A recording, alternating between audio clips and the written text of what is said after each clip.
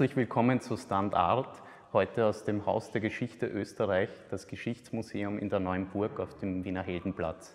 Meine heutige Gesprächspartnerin ist eine der markantesten Stimmen der österreichischen Gegenwartsliteratur und sie hat sich auch nie gescheut, wenn es darum ging, sich in geschichtspolitische Debatten dieses Landes einzumischen. Herzlich willkommen, Marlene Strerowitz. Danke für die Einladung. Ja, Frau Strerowitz, wir sitzen hier mitten in der Ausstellung dieses neuen, immer noch neuen Haus der Geschichte. Es hat eine sehr schwierige Entstehungsgeschichte selbst gehabt. Die ist auch noch immer nicht abgeschlossen. Man weiß nicht, wohin es mit diesem Haus auch weitergehen soll. Es wird bekrittelt, dass zu wenig Platz da ist. Was ist denn Ihre Einschätzung zu diesem Projekt Haus der Geschichte?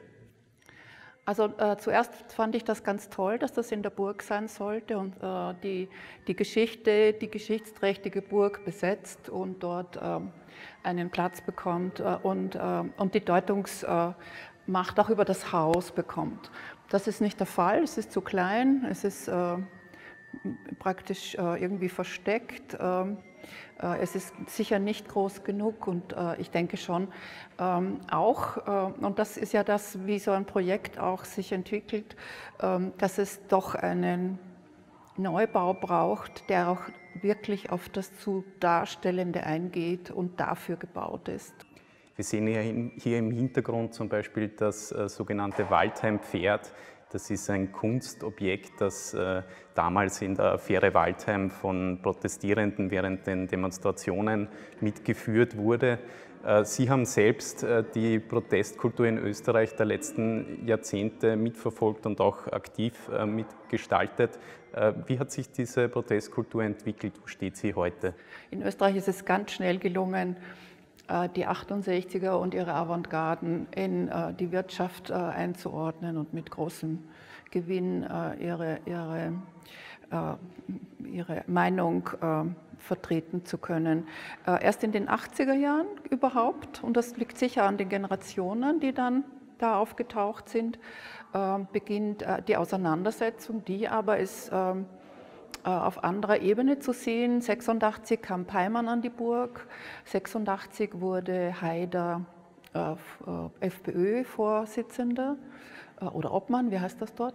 Äh, und ähm, diese zwei Männer haben ganz ohne viel Probleme die, eine, eine Cancel Culture Kultur aufgebaut, in der über die Kronenzeitung jeweils äh, die, die äh, Auseinandersetzung stattgefunden hat und, ähm, und äh, beide äh, äh, gewonnen haben an, an, an, groß, an Profil, an, an, an, immer in der, in der Ablehnung des anderen wurden die wurde die jeweilige Figur größer gemacht. Und das spielt dann in die Waldheim-Geschichte mit hinein, dass es überhaupt, äh, äh, dass diese Art von Öffentlichkeit überhaupt aufgenommen wurde von Medien. Das war bis dahin gar nicht so einfach. Das heißt, man hat sich da auch gegenseitig aufgeschaukelt, aneinander polarisiert. Äh, zuletzt gab es ja auch eine Diskussion in Wien wieder, wiederum über das Karl-Lueger-Denkmal. Auch da kommt es ja zu einer gewissen Polarisierung zwischen Rechten, äh, die das für sich vereinnahmen wollen, und äh, Linken, der sie sich vielleicht auch zurechnen würden, die dieses Denkmal in Frage stellen. Was muss denn aus Ihrer Sicht damit passieren? Mit dem Lueger-Denkmal meinen ja. Sie? Ich würde meinen, Denkmäler insgesamt sollten befragt werden. Wir sitzen jetzt hier in einer, in einer Form von äh, Deutungshoheit. Äh, hier wird Geschichte so vermittelt, wie äh, Kuratoren, Kuratorinnen das sehen. Ein Denkmal ist genauso eine unglaublich starke Stimme für diese dargestellte Person, die jede Diskussion unmöglich macht. Also es ist ein, ein starkes Zeichen. Äh, und äh, diese starken Zeichen müssen befragt werden, auf was das für uns heute heißt. Das heißt, äh, nur besprechen oder würden Sie da jetzt auch fordern, dass man physisch was verändert an diesem Denkmal, dass man es kontextualisiert, also umarbeitet oder dass man es vielleicht in einem Museum wie das, das hier, in dem wir sitzen, verfrachtet? Da wäre vielleicht zu wenig Platz, aber vielleicht gibt es ja dann ein anderes. Ja, das ist immer die Frage. Das Denkmal, denke ich, gehört weg die Diskussion gehört her. Und es muss natürlich genau durchbesprochen werden, was nun Herr Lueger gemacht hat, ähm, was sein Anteil ist, wie das mit den Liberalen und ihm ist, wie er dann doch Bürgermeister werden konnte, weil die Zustimmung zu ihm, was es bedeutet, dass er als erster in der Sprache der Bevölkerung politische Reden gehalten hat, was es bedeutet, dass er am Beginn der Massenparteien äh, steht und äh, die Sache erst überhaupt erfunden wird, sich gegen die Liberalen durchsetzen muss, äh, vom Kaiser keine Bestätigung bekommt. Das kann schon alles besprochen werden, aber das brauchen wir nicht in Denkmalform vor uns gesetzt haben. Das heißt, Sie würden das Denkmal entfernen. Das ist schon eine Position, die Sie auch in anderen Fragen früher auch vertreten haben. Vor ein paar Jahren ging es um den Zigeunerbaron, Strauß-Operette, wo Sie gefordert haben, dass man die eigentlich nicht mehr mehr aufführt. Jetzt muss man dazu sagen, dass die sogenannten Zigeuner in dieser Operette eigentlich sehr positiv dargestellt werden. Äh, kann man wirklich allein der Begrifflichkeit wegen ein Werk, äh, das eben aus, dieser, aus der jeweiligen Zeit stammt, äh, verbieten? Erstens mal glauben Sie, dass die positive Behandlung im Zigeunerbaron, ähm, denen Sinti und Roma irgendetwas einbringen, wenn sie auf die Straße gehen und belästigt werden, rassistisch belästigt werden. Das glaube ich nicht. Das ist eine andere Baustelle. Das hat miteinander ja gar nichts zu tun. Ich finde, dass ähm, die Operette eines, ein solches Archiv des Rassismus, Sexismus, Antisemitismus ist, dass es selbstverständlich einmal, äh, ich würde sagen, 20 Jahre in die Lade kommt und dann schauen wir, was übrig bleibt.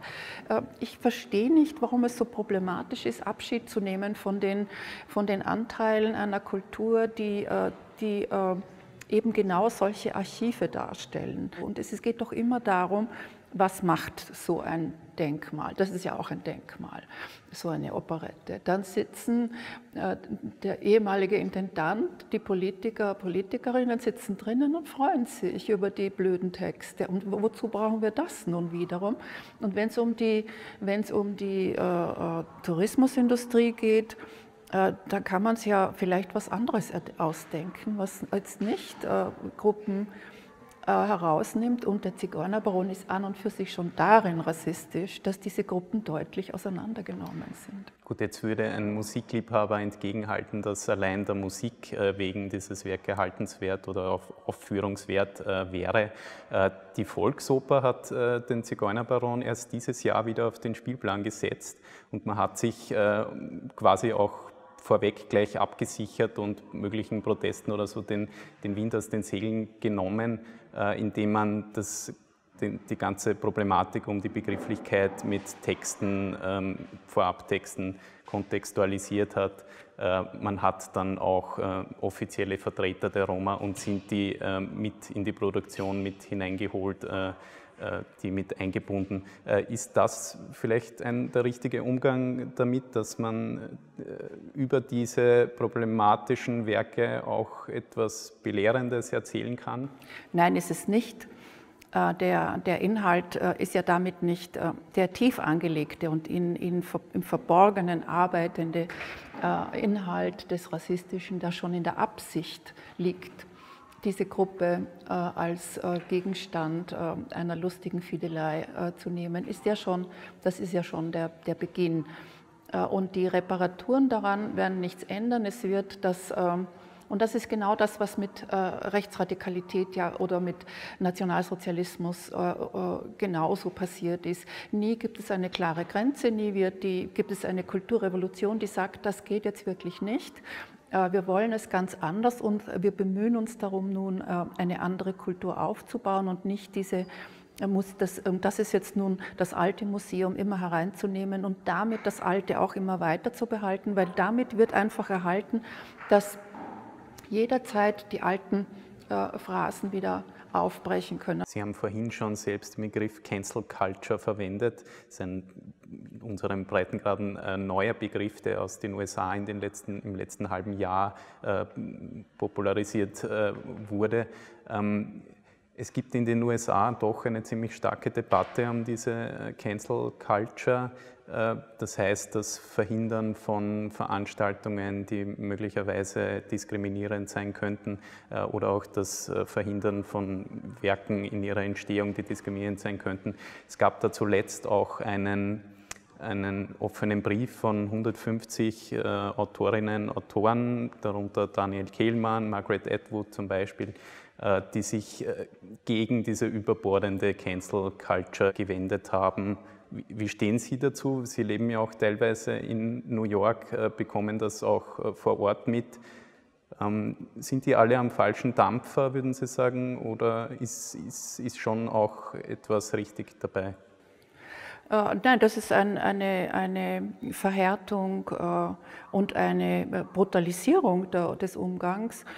Wir haben das aber hier genauso, identitäre Stören, Theateraufführungen, das gibt es bei uns genauso. Es ist nicht, noch nicht so selbstverständlich ein Mittel. Ich glaube aber, dass dazu nur ganz wenig wenige Schritte notwendig sind. Jetzt haben diese 150 äh, Unterzeichner dieses Briefes aber nicht nur die Diskursverengung oder Cancel Culture von rechts äh, bekrittelt, sondern auch von linker Seite. Äh, sehen Sie die auch? Sehen Sie diese Gefahr? Also die sehe ich bei uns jetzt gar nicht, diese Gefahr. In den Nein. USA? Äh, in den USA, da gibt es ein anderes Spektrum, ja. Aber äh, die kommen jetzt seltener mit der Waffe, das würde ich jetzt schon mal unterscheiden. Und äh, die, die äh, Auseinandersetzung, die auf den, auf den Hochschulen stattfindet, ist eine neue Ausverhandlung verschiedener Gewaltmonopole und ich dem, kann dem nur zuschauen. Ich glaube nicht, dass wir dem ausgesetzt sind. Das ist ja Kultur, also das ist jetzt nichts, was was uns, äh, was mich direkt betrifft. Ich würde, glaube ich, nicht verhindert werden oder, oder also es interessiert, äh, glaube ich, niemand, wenn ich dort eine Lesung halte. Äh, das sind schon immer ganz andere ideologische Zuspitzungen, die auch oft nur aus dem Lokalen verständlich sind. Und diese Auseinandersetzungen werden geführt. Im Übrigen, ich gehe nochmal zurück.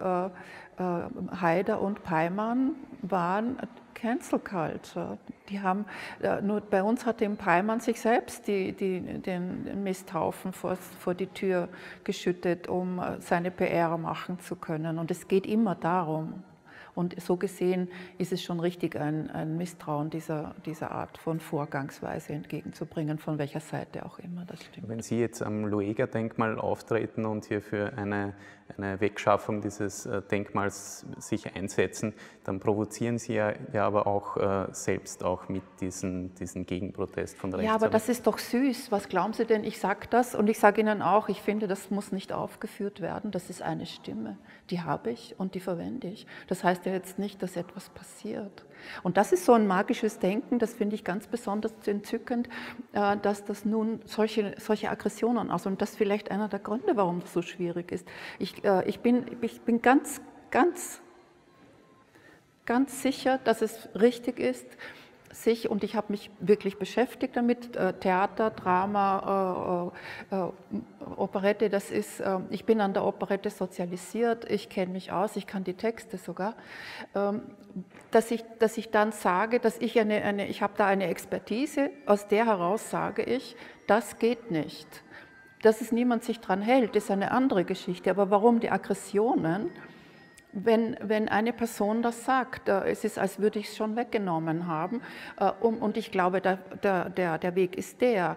Ähm, die, die Aggression entsteht, um die Argumente so wegschieben zu können, äh, emotional, dass man sich überhaupt nicht mehr, und ich sage ja absichtlich Mann, ähm, überhaupt nicht mehr darum kümmern muss. Und das ist aber auch Canceln kommen wir vielleicht zum Abschluss noch zu dem, was Sie zuletzt äh, geschrieben haben, äh, nämlich ein Covid-19-Fortsetzungsroman, der auch in Zusammenarbeit mit dem Standard äh, erschienen ist. Bei der Pandemiebekämpfung haben Sie ja der türkis-grünen Bundesregierung auch Angstmache vorgeworfen. Ja. Äh, generell gehen Ihnen die, die gesetzten Maßnahmen zu weit? Also ich kann dazu nichts sagen. Äh, äh, ich meine auch, dass äh, in einem, ich hoffe in einem halben Jahr oder in einem halben Jahr, dass wir sehen können, was war das jetzt? Was war richtig, was war falsch? Ich muss jetzt nicht eine Revolution vom Zaun brechen, weil ich keine Maske aufsetzen will, sondern ich kann das sozial alles lösen. Und ich finde, dass wir ja auch einen kurzen Augenblick hatten, in dem wir sehr, sehr solidarisch in den ersten Wochen des Lockdown sehr solidarisch äh, in unseren Wohnungen gesessen sind und wussten, alle anderen sitzen genauso in ihren Wohnungen und wir passen in gewisser Weise aufeinander auf. Das war auch ein schöner Augenblick.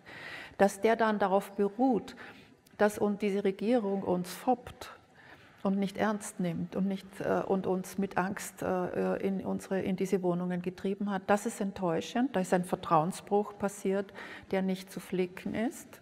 Das würde ich der Regierung vorwerfen.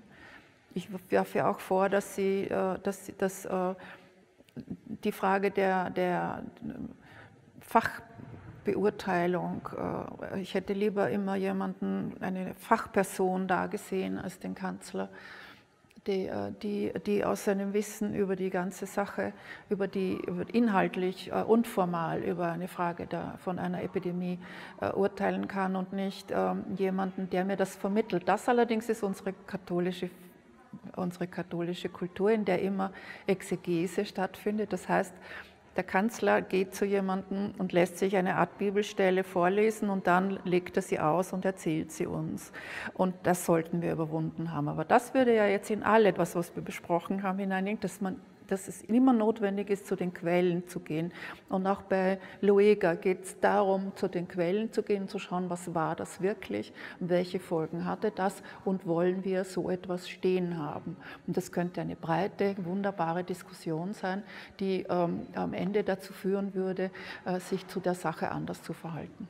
Wir sind zurück bei der Ausgangsfrage, wo wir gestartet sind. Und das war auch Standard für heute. Ich darf mich bedanken fürs Zusehen und recht herzlichen Dank, Marlene Strerowitz, und bis zum nächsten Mal. Wiedersehen. Ich danke auch.